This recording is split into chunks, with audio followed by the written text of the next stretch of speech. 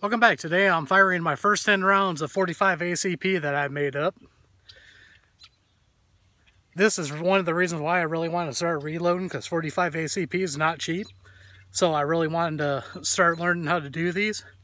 We got Acme bullets, we got Titegroup for powder, and then for primers we got uh, Federal large pistol primers. So let's go ahead and try the first mag out.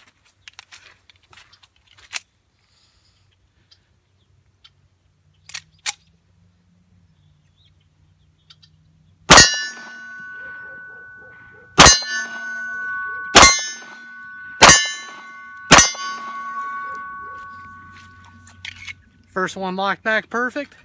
So I think this is going to be a good load. Let's get the second mag out and try that out.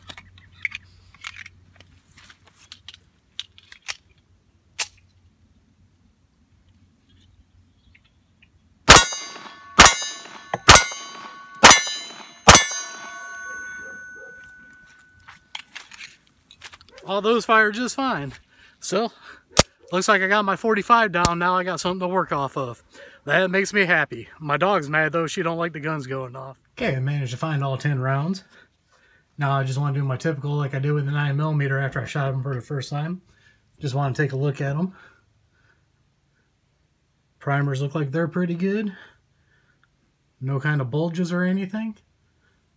So, I think these loads went pretty good. I'm getting real comfortable now on my reloading. Now that I've done 45 and 9 millimeter, I think I'm ready to save up and get some uh, 223 dies and get the stuff to do rifle rounds. I know I got to get a couple more things to do rifle rounds, so I'm going to have to save up some money because I'm going to have to trim the cases and stuff like that. So I'm feeling real comfortable now. I think I want to start doing rifle rounds. Um, like I said, these were uh, Acme bullets that I shot out of these. I still got about 290 more of those to make up now. Uh, I was using federal primers. They look good. And that was Titegroup powder. Well, that's all I got for today. Thank you for watching, and I'll see y'all on the next one.